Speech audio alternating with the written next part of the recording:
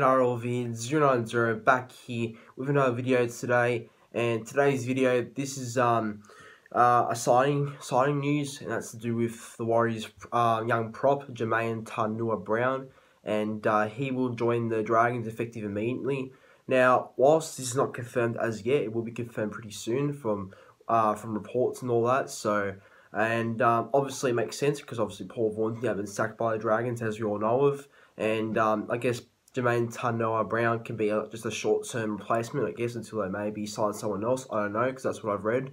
And um, yeah, it's interesting actually because I do know that he wasn't he wasn't getting much game time at the Warriors. Um, so I, I, yeah, I guess that maybe kind of kind of uh, made the move happen to go to the Dragons because he wasn't getting any game time at the club. So um, you know, good on him uh, to Taunoa Brown for joining the Dragons. I think you know if he um, can stay there more than I mean, he just I think he's only signed there for the rest of the year. But if he can um, just play some good footy for the Dragons, I reckon that you know he could get himself an actual an actual contract contract with the Dragons uh, down a longer longer run. You know, I think um, yeah, he's a young prop with potential from what I've seen. So I think Dragons should try and get him on a more longer term deal. But um, you know, I feel like he'll be a good replacement until they find someone instead of uh, or until they find a good replacement for Paul Vaughan. But in my opinion, they should just uh, sign Jamayne Taunoa Brown for a longer term contract.